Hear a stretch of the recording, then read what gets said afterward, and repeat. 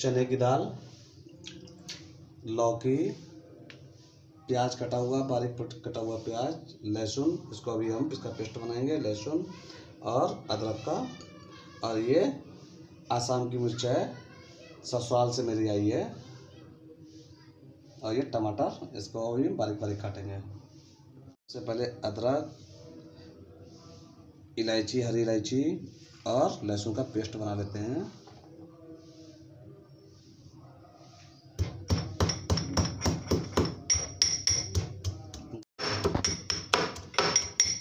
चने की दाल और लौकी डालकर जो है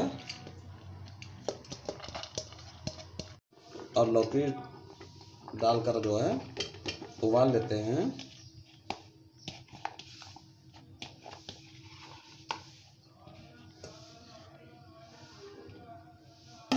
इसमें पानी डाल देते हैं कुछ उबलने के लिए। और इसमें मिर्चा भी खड़ी मिर्चा डाल देते हैं, ये वाली। तो नमक हम डाल देते हैं, सिर्फ़ नमक ही डालेंगे इसमें।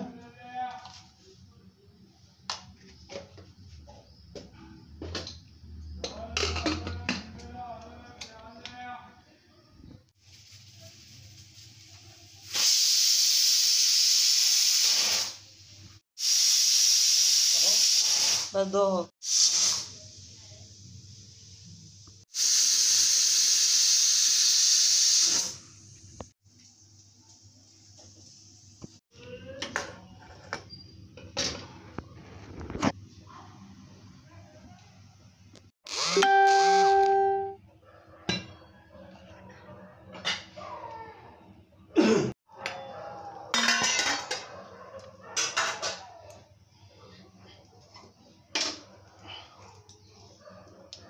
जीरा हींग थोड़ा हींग जना डालेंगे हरी मिर्चा टमाटर पहले से काट के रखा हुआ है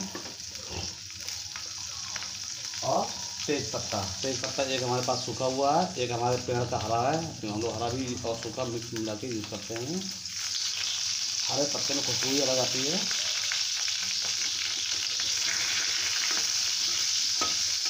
है अदरक और लहसुन का पेस्ट जो हमने पहले से तैयार करके रखा हुआ है।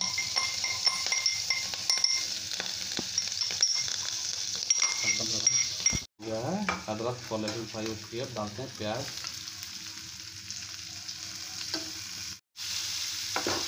प्याज को हल्का सा ब्राउन कर लेंगे हम। इसको ब्राउन होने देते हैं हल्का हल्का भुन गया है। इसको थोड़ा सा और लाल करेंगे, तब तक मसाले डालते हैं इसमें। हल्की सी लाल मिर्च,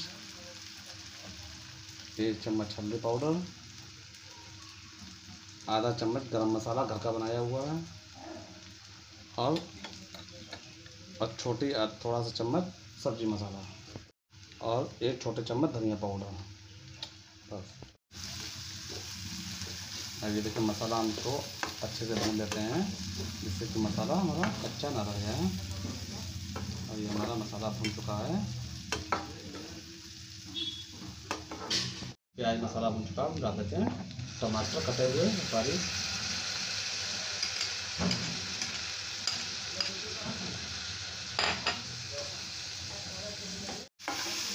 थोड़ा सा टमाटर छोटा सा पकने देते हैं। और हम इसमें थोड़ा सा यूज़ करेंगे। ब्लैक सॉल्ट मतलब काला नमक, जिससे हमारी सब्ज़ी का टेस्ट अच्छा आ जाता है। और ब्लैक सॉल्ट आप हर सब्ज़ी में थोड़ा सा डाल दीजिए इससे सेहत के लिए भी अच्छा होता है।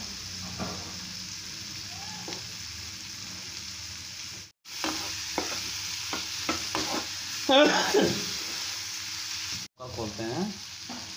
और ये जो हमारी दाल शायद पक चुकी होगी, पक चुकी नहीं है, पक चुकी है, देखिए, अच्छे से मिक्स हो गई पत्ता इसको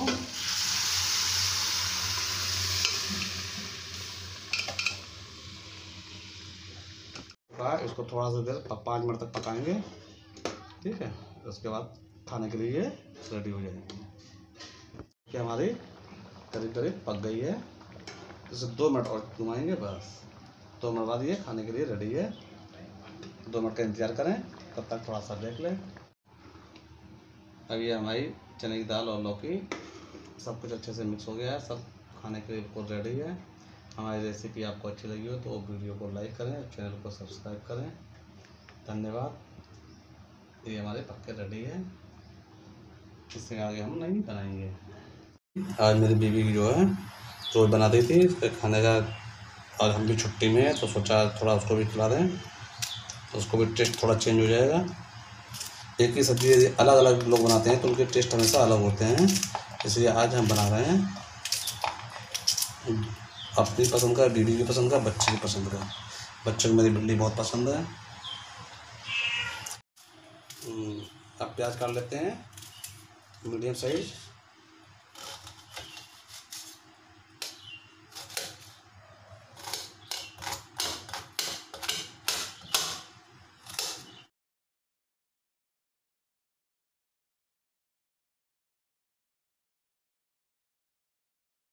स्वाद का घी वाला मिर्चा है। ये देखिए, बहुत छोटे छोटे मिर्चे हैं, लेकिन तीखे हैं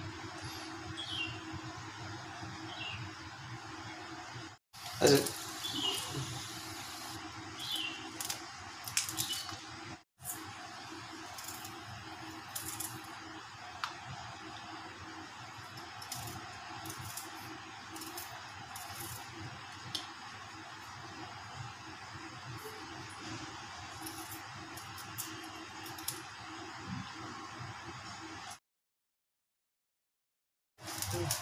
हल्का सा तेल डालेंगे।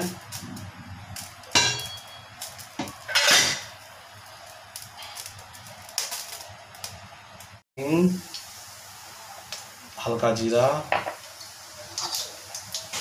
लहसुन, और मिर्चा। लहसुन को हल्का सा ब्राउन होने देते हैं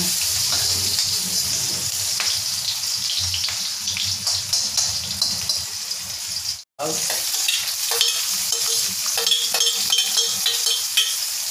इसको हल्का सा फ्राई करते हैं बिल्कुल हल्का सा फ्राई करेंगे, क्योंकि भिंडी भी हमारी फ्राई होगी इसलिए हम इसको ब्राउन नहीं करेंगे। सिर्फ़ हल्का सा।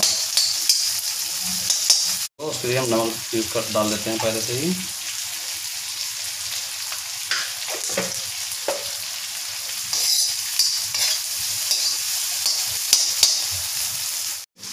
डाल देते हैं। और और कुछ नहीं यूज़ करेंगे, सिर्फ़ हल्का सा गरम मसाला यूज़ करेंगे।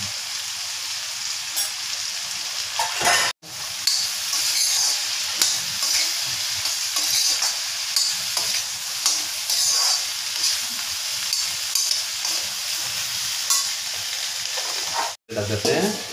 पाँच मिनट में हमारी भिंडी पक के तैयार हो जाएगी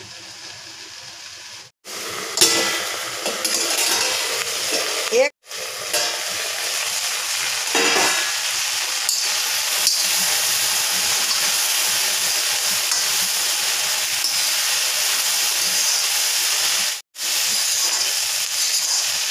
लोग गैस पकता है कोई चीज़ इसके ध्यान रखो पकाते हैं चावल को।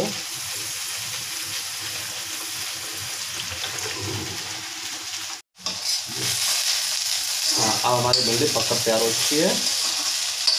रेडी टू ईट खाने के लिए तैयार है।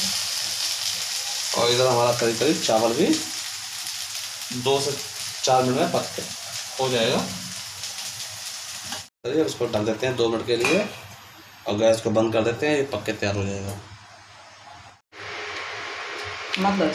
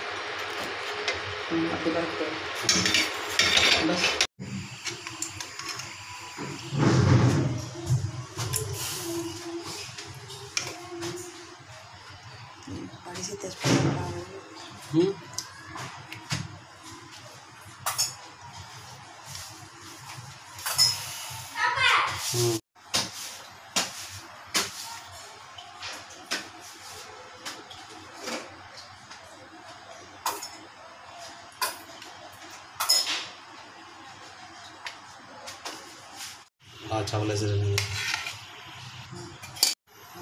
भिंडी